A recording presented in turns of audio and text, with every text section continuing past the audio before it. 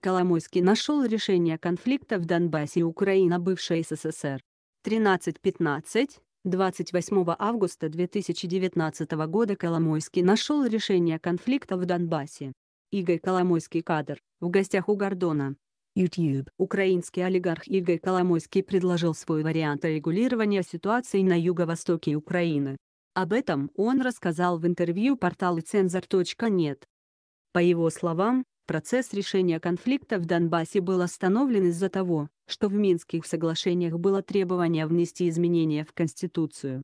Занимавший на тот момент президентское кресло Петр Порошенко, как отметил Коломойский, подписал документ, но заранее не собирался это все выполнять, а подпись свою поставил потому, что была тяжелая ситуация.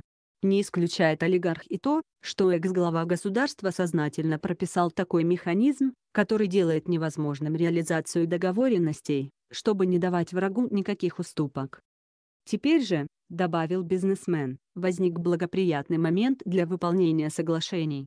Сегодня совпали вектора, можно воспользоваться этой ситуацией и предложить им, убираем требования об изменениях в Конституцию, оставим особый статус, не будем его раз в году продлевать, сделаем его на пять лет, переходный период и проведем там, в Донбассе, выборы, сказал Коломойский. В интервью украинскому изданию олигарх предложил следующий механизм, который должен быть прописан в Минских соглашениях.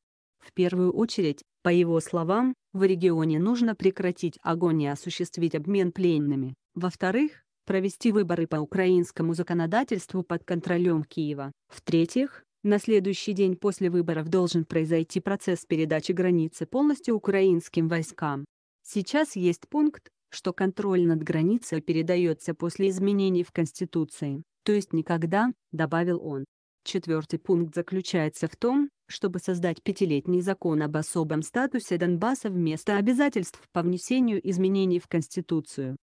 Второе Минское соглашение было согласовано 11-12 февраля 2015 на саммите в Минске руководителями России, Украины, Франции и Германии в нормандском формате, на очередном проведении которого настаивает французский лидер Эммануэль Макрон. За время конфликта в Донбассе ни один из подписанных пунктов фактически не был выполнен. Соглашением, в частности, предусматривалось незамедлительное прекращение огня, отвод тяжелых вооружений, начало диалога о проведении местных выборов, принятие закона, запрещающего преследование и наказание лиц, участвовавших в конфликте, а также документы об особом статусе региона. Силовая операция против самопровозглашенных Донецкой и Луганской народных республик, которые заявили о независимости после смены власти в Киеве в феврале 2014 года, ведется украинскими властями с апреля 2014 года. За время вооруженного конфликта на юго-востоке страны погибли более 10 тысяч человек, более 30 тысяч пострадали, сотни тысяч местных жителей были переселены или бежали в другие страны. Киев обвиняет Россию в участии в боевых действиях на стороне ополчения, Москва это отрицает.